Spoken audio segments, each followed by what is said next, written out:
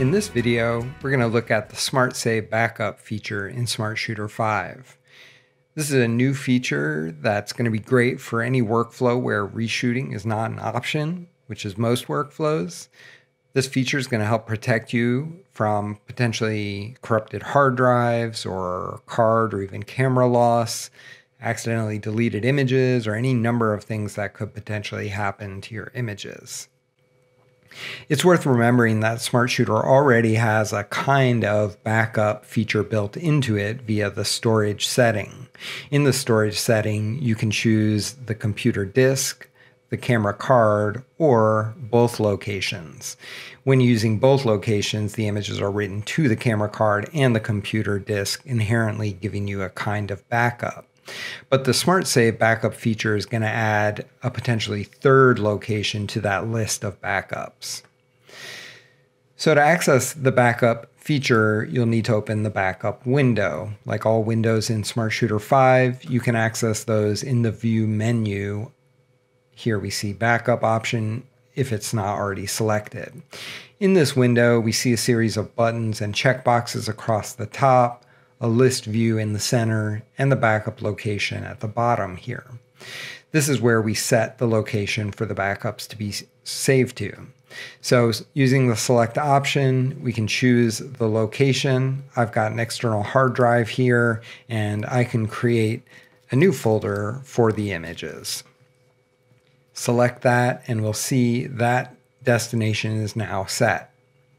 So in Smart Shooter 5, there are two methods you can use to create backups. One is a manual method, the other is an automatic method. We'll look at the manual method first. Uh, in the buttons across the top, you'll see a Backup Now button. By selecting that, you can manually set all images to be set for backup. We'll see the status here on the left, in progress, pending, and ultimately completed. So Smart Shooter is automatically taking all the images and saving those to the location. If it's a large queue of images you have, you can cancel that backup process at any time. For many users, though, the automatic uh, backup method is going to be the preferred method. And you can turn that on by checking this box here to enable auto backups. That means Smart Shooter is automatically going to take any incoming image and queue it up for backup without any additional user input.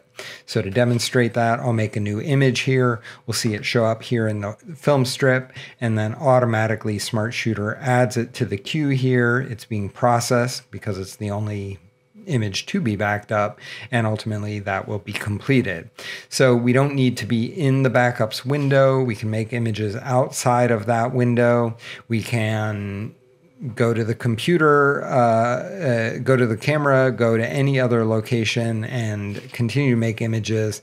And all the while, Smart Shooter is managing that process, looking for new images and backing them up in the background.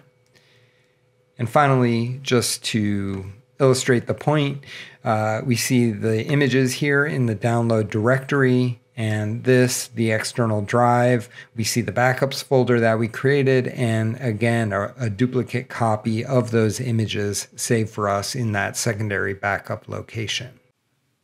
It's worth remembering that this location can be set to any folder, including folders that are used by cloud services. So if you have a Google Drive or Dropbox folder on your computer, you can set this as the backup location, and those images will be automatically uploaded in the background to that cloud service, thereby moving your backups offsite automatically. That's the Smart Save Backup feature in Smart Shooter 5.